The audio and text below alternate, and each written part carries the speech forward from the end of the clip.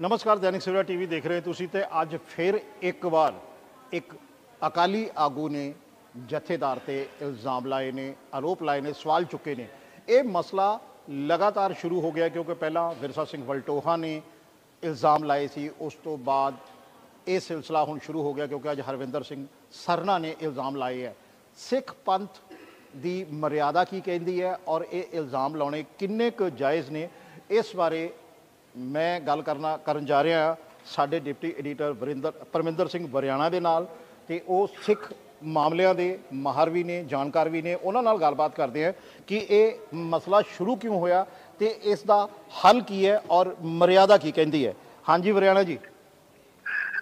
ਜੀ ਰਾਣਾ ਜੀ ਮਸਲਾ ਇਹ ਉਸ ਸਮੇਂ ਜ਼ਿਆਦਾ ਇਹ ਉੱਠਿਆ ਜਦੋਂ ਕੱਲ ਸਿੰਘ ਸਾਹਿਬਾਨ ਨੇ ਸਿੱਖ ਬੁੱਧੀਜੀਵੀਆਂ ਤੇ ਪੱਤਰਕਾਰਾਂ ਦੀ ਇੱਕ ਮੀਟਿੰਗ ਜਿਹੜੀ ਆ ਬੁਲਾਈ ਆ ਜਿਹਦੇ ਵਿੱਚ ਸੰਭਾਵਤ ਤੌਰ ਦੇ ਉੱਤੇ ਸੁਖਵੀਰ ਸਿੰਘ ਬਾਦਲ ਦੇ ਜਿਹੜੀ ਤਨਖਾਹੀਆ ਕਰਾਰ ਦੇਣ ਤੋਂ ਬਾਅਦ ਜਿਹੜੀ ਸਜ਼ਾ ਨਿਰਧਾਰਤ ਕੀਤੀ ਜਾਣੀ ਆ ਉਹਦੇ ਤੇ ਚਰਚਾ ਦੇ ਅਹ, ਜਿਹੜੇ ਆ ਅੰਦੇਸ਼ੇ ਦੇ ਤਹਿਤ ਇਹ ਮੀਟਿੰਗ ਬੁਲਾਈ ਗਈ ਆ। ਹਾਲਾਂਕਿ ਓਪਨਲੀ ਇਹ ਗੱਲ ਨਹੀਂ ਕਹੀ ਗਈ ਕਿ ਇਹ ਮੀਟਿੰਗ ਜਿਹੜੀ ਆ ਸੁਖਬੀਰ ਸਿੰਘ ਬਾਦਲ ਕਰਕੇ ਬੁਲਾਈ ਗਈ ਆ।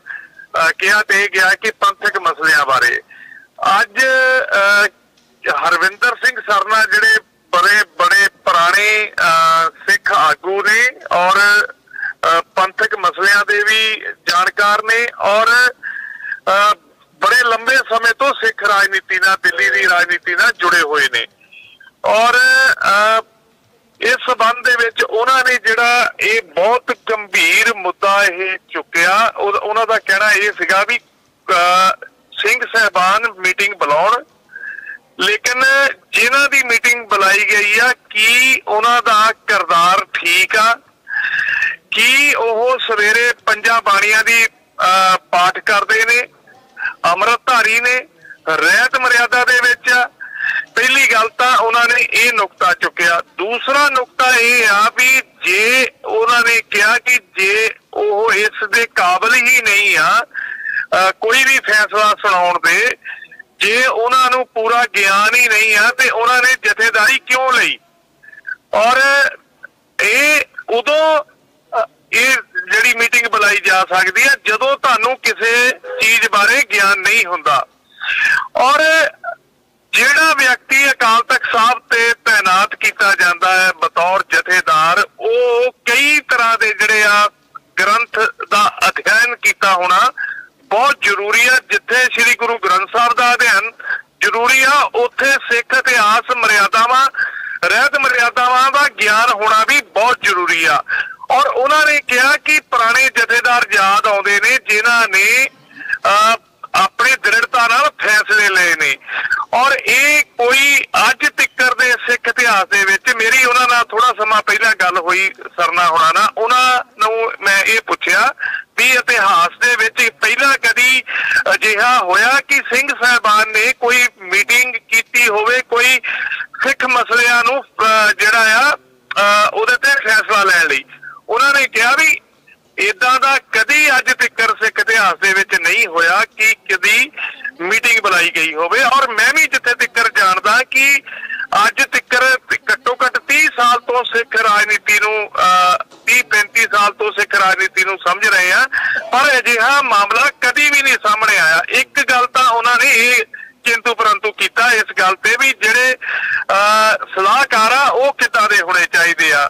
ਔਰ ਦੂਸਰੀ ਗੱਲ ਉਹਨਾਂ ਨੇ ਕਿਹਾ ਵੀ ਸਲਾਹ ਦੀ ਲੋੜ ਕਿਉਂ ਆਵੇ ਤੁਸੀਂ ਜਥੇਦਾਰ ਹੋਣ ਦੇ ਹੱਕਦਾਰ ਹੀ ਨਹੀਂ ਆ।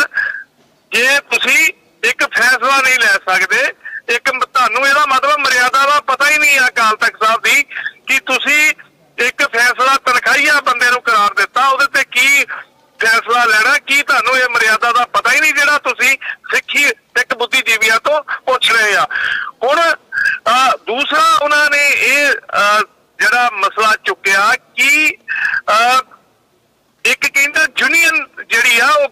ਕਿ ਇੱਕ ਜਥੇਦਾਰ ਰਜ਼ਾਈਨ ਕਰ ਰਿਹਾ, ਦੂਸਰਾ ਧਮਕੀ ਦੇ ਰਿਹਾ ਵੀ ਇਦਾਂ ਦਾ ਉਹਨਾਂ ਨੇ ਸਾਫ਼ ਕਿਹਾ ਕਿ ਟ੍ਰੇਡ ਯੂਨੀਅਨ ਕਰਦੀਆਂ ਨੇ, ਜਿਹਦੇ ਵਿੱਚ ਕੋਈ ਇੱਕ ਬੰਦਾ ਕੋਈ ਸਟੈਪ ਚੱਕਦਾ, ਦੂਸਰਾ ਉਹਦੀ ਹਮਾਇਤ ਕਰ ਦਿੰਦਾ ਜਾਂ ਉਹਦਾ ਵਿਰੋਧ ਕਰ ਦਿੰਦਾ।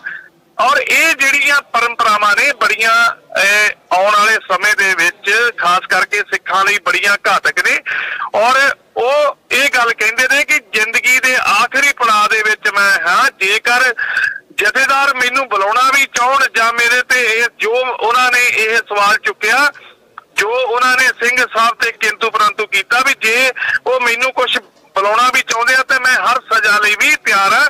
ਪਰ ਮੈਂ ਕਹਿੰਦੇ ਅੱਗੇ ਜਾ ਕੇ ਉਸ ਪਰਮੇਸ਼ਰ ਦੇ ਦਰਗਾਹ ਦੇ ਵਿੱਚ ਜਾ ਕੇ ਮੈਂ ਕੀ ਜਵਾਬ ਦਊਂਗਾ ਕਿ ਜਦੋਂ ਉਹ ਪੁੱਛਿਆ ਜਾਊਗਾ ਕਿ ਤੁਸੀਂ ਉਸ ਸਮੇਂ ਕਿਉਂ ਚੁੱਪ ਰਹੇ ਜਦੋਂ ਸਿੱਖ ਮਰਿਆਦਾਵਾਂ ਦਾ ਘਾਣ ਹੋ ਰਿਹਾ ਸੀ। ਤੋ ਰਾਣਾ ਜੀ, ਆਪਣੇ ਆਪ ਦੇ ਵਿੱਚ ਇਹ ਇੱਕ ਬਹੁਤ ਅ, ਵੱਡਾ ਮਸਲਾ ਬਣ ਗਿਆ ਵਿਵਾਦਤ ਮਸਲਾ ਬਣ ਗਿਆ ਔਰ ਦੂਸਰਾ ਉਹਨਾਂ ਨੇ ਖਾਸ ਗੱਲ ਮੇਰੇ ਨਾਲ ਗੱਲ ਕਰਦਿਆਂ ਕਿਹਾ ਕਿ ਦਿੱਲੀ ਅ, ਗੁਰਦੁਆਰਿਆਂ ਨਾਲ ਸੰਬੰਧਿਤ ਕੁਝ ਮਸਲਾ ਅ, ਜਿਹੜਾ ਆ ਕੁਝ ਚੋਰੀਆਂ ਕੋਈ ਘਪਲਿਆਂ ਦਾ ਮਸਲਾ ਜਦੋਂ ਗਿਆਨੀ ਹਰਪ੍ਰੀਤ ਸਿੰਘ ਅਕਾਲ ਤਖਤ ਸਾਹਿਬ ਦੇ ਐਕਟਿੰਗ ਜਥੇਦਾਰ ਸੀ ਉਹਨਾਂ ਦੇ ਪਾਸ ਲੈ ਗਿਆ ਸਨ 2020 ਦੇ ਵਿੱਚ। ਔਰ ਉਹਨਾਂ ਨੇ ਉਦੋਂ ਹੀ ਇਹ ਗੱਲ ਕਹੀ ਸੀਗੀ ਕਿ ਮੈਂ ਕਮੇਟੀ ਬਿਠਾਵਾਂਗਾ ਔਰ ਇਹਦਾ ਜਲਦੀ ਹੀ ਜਾਂਚ ਕਰਾ ਕੇ ਸਾਰਾ ਸਿੱਖ ਪੰਥ ਦੇ ਸਾਹਮਣੇ ਲਿਆਂਦਾ ਜਾਵੇਗਾ।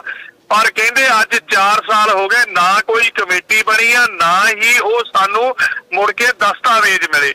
ਸੋ ਜੇ ਇੱਕ ਜਿਹੜਾ ਅਕਾਲ ਤਖਤ ਦਾ ਜਥੇਦਾਰ ਆ ਇੱਕ ਵਾਅਦਾ ਕਰਕੇ ਮੁੱਕਰ ਜਾਵੇ ਤੇ ਉਹਦੇ ਕਿਰਦਾਰ ਦੇ ਉੱਤੇ ਸਵਾਲ ਉੱਠਣੇ ਸੁਭਾਵਿਕ ਹੀ ਹੈ ਸੋ ਇਹ ਅਹ, ਸਰਨਾ ਹੁਣਾਂ ਨੇ ਇੱਕ ਬਹੁਤ ਗੰਭੀਰ ਅਹ, ਮੁੱਦੇ ਦੇ ਉੱਤੇ ਸਿੱਖ ਕੌਮ ਦਾ ਧਿਆਨ ਕੇਂਦਰਿਤ ਕੀਤਾ ਵੀ ਅਹ, ਇਹ ਨਹੀਂ ਹੈ ਕਿ ਅਹ, ਜੇ ਸਿੰਘ ਸਾਹਿਬਾਨ ਆ ਤੇ ਜੋ ਮਰਜ਼ੀ ਕਰਨ। ਔਰ ਮਰਿਆਦਾਵਾਂ ਦਾ ਪਾਲਣ ਕਰਨਾ ਜਦੋਂ ਇਹ ਵੀ ਇਸ ਗੱਲ ਕਰਕੇ ਵੀ ਬਹੁਤ ਇੰਪੋਰਟੈਂਟ ਆ ਕਿ ਪੂਰੇ ਪੰਥ ਦੇ ਵਿੱਚ ਜੇ ਕਿਤੇ ਮਰਿਆਦਾਵਾਂ ਦਾ ਘਾਣ ਹੁੰਦਾ ਜਾਂ ਕਿਤੇ ਕੋਈ ਕੁਤਾਹੀ ਕਰਦਾ ਤੇ ਅਕਾਲ ਤਖਤ ਤੇ ਆਉਂਦੇ ਆ ਹੁਣ ਔਰ ਸਵਾਲ ਇਸ ਗੱਲ ਦਾ ਉੱਠ ਰਿਹਾ ਕਿ ਜੇ ਅਕਾਲ ਤਖਤ ਸਾਹਿਬ ਹੀ ਦੇ ਜਥੇਦਾਰ ਹੀ ਅ, ਮਰਿਆਦਾਵਾਂ ਦਾ ਘਾਣ ਕਰਨ ਲੱਗ ਪਣ ਤੇ ਫਿਰ ਬਚਾਊਗਾ ਖੌੜ ਸੋ ਇਹ ਅ, ਆਉਣੇ ਵਾਲੇ ਸਮੇਂ ਦੇ ਵਿੱਚ ਇਹ ਬਹੁਤ ਵੱਡਾ ਮੁੱਦਾ ਬਣਨੇ ਜਾ ਰਿਹਾ ਔਰ ਜਦੋਂ ਮੈਂ ਸਰਨਾ ਹੁਣਾਂ ਨਾਲ ਅਹ, ਗੱਲ ਕਰਨੀ ਅਹ, ਸ਼ੁਰੂ ਕੀਤੀ ਸੀਗੀ ਅਹ, ਫੋਨ ਤੋਂ ਪਹਿਲਾਂ ਜਦੋਂ ਉਹਨਾਂ ਦਾ ਫੋਨ ਰਿਕਾਰਡ ਕੀਤਾ ਗਿਆ ਔਰ ਉਹਨਾਂ ਨੇ ਕਿਹਾ ਕਿ ਇਹ ਜੋ ਮੈਂ ਸਵਾਲ ਕੀਤੇ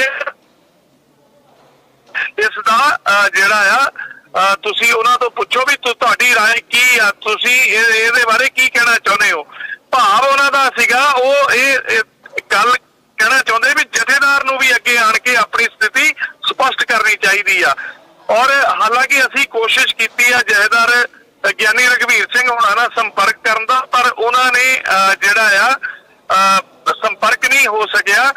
ਸੋ ਅਸੀਂ ਫਿਰ ਵੀ ਕੋਸ਼ਿਸ਼ ਕਰਾਂਗੇ ਉਹਨਾਂ ਨਾਲ ਸੰਪਰਕ ਕਰਨ ਦੀ ਔਰ ਉਹਨਾਂ ਦਾ ਬਿਆਨ ਜਾਣਨ ਦੀ ਆਪਾਂ ਉਹਨਾਂ ਦੇ ਵਿਚਾਰ ਜਾਣਨ ਦੀ ਕੋਸ਼ਿਸ਼ ਕਰਾਂਗੇ ਕਿ ਜਿਹੜੇ ਉਹਨਾਂ ਦੇ ਉੱਤੇ ਇਹ ਜਿਹੜੇ ਗੰਭੀਰ ਐਲੀਗੇਸ਼ਨ ਲਗਾਏ ਗਏ ਨੇ ਜਾਂ ਗੰਭੀਰ ਚਿੰਤਾਵਾਂ ਜ਼ਾਹਿਰ ਕੀਤੀਆਂ ਗਈਆਂ ਸਰਨਾ ਵੱਲੋਂ ਔਰ ਉਹਨਾਂ ਬਾਰੇ ਤੁਸੀਂ ਕੀ ਕਹਿਣਾ ਚਾਹੁੰਦੇ ਆ? ਜੀ। ਜੀ ਸ਼ੁਕਰੀਆ ਜੀ ਸ਼ੁਕਰੀਆ ਬਰਿਆੜਾ ਸਾਹਿਬ ਤੁਹਾਡਾ ਬਹੁਤ ਬਹੁਤ ਸ਼ੁਕਰੀਆ। ਤੁਸੀਂ ਇਸ ਬਾਰੇ ਜਾਣਕਾਰੀ। ਦਿੱਤੀ ਹੈ। ਜੀ ਧੰਨਵਾਦ।